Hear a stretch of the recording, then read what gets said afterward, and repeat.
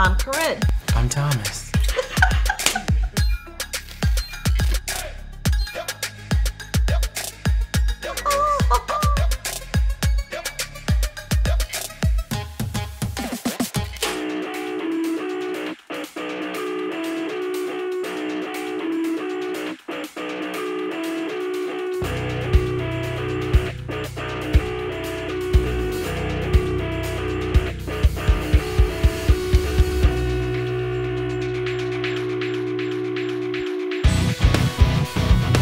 I thank you and I thank NAHCA.